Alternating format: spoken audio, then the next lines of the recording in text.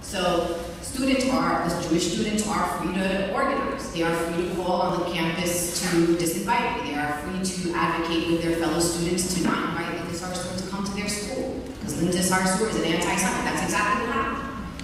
The students on the other side, the Black Student Union, the Black Lives Matter chapter, the Students for Justice in Palestine organized and they were committed to me and my attendance to speak at their college campus. The point here that we're missing is that people who are pro-Israel have the right to stand up for the state of Israel. You have the right to, to, to say and feel what you want to feel as an individual.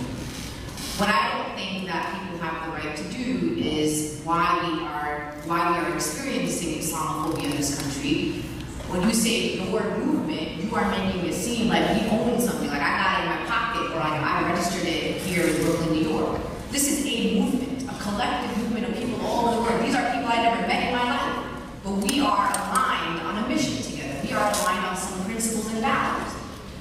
You can't take a movement and paint us all, just like the Islamophobes say we're all, we must be all ISIS because we're Muslim. Like this is the problem with the, the where we are right now. I don't think all Jews are anti-Palestinian, for example. So that this this broad brush of movement or the BDS movement in capital letters with an underline is what's false here. So you can believe what you want to believe, but it has to be based on fact. I won't take from you your personal experience, but I will not allow you to broad brush all of this and say this movement is anti-Semitic. What in fact you are saying is that Imam Talib, Imam Abdul Musa, Rabin, and we are anti-Semites, and we will not accept that. Just like you won't accept me saying that you are an Islamophobe. Like this is the fundamental problem that we have. Right, so I'm not, I'm not asking you to accept that I think that you're anti-Semites, which I, which I do. And yet, but you're, entitled to your view, and I'm entitled to mine. But that's what started our conversation. So if we are entitled to each other's views, But what I'm asking you You're, here, you're, here as supporters of the BDS movement, and this resolution is about the BDS movement. You chose to subscribe to that, are that movement, and that's what we're debating.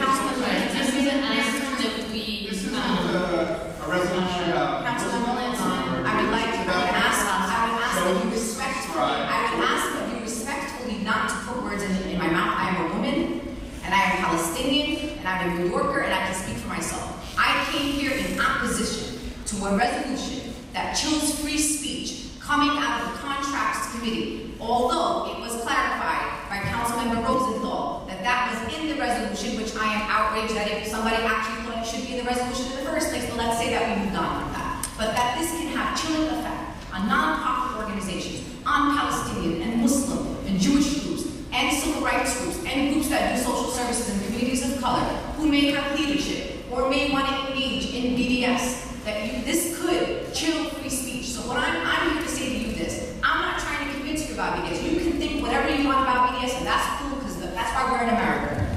But what I'm telling you is this is a conversation and a debate about free speech. Tell me that I have the right to BDS Israel 20 years from now, when I'm 60 years old, I might want to BDS another country.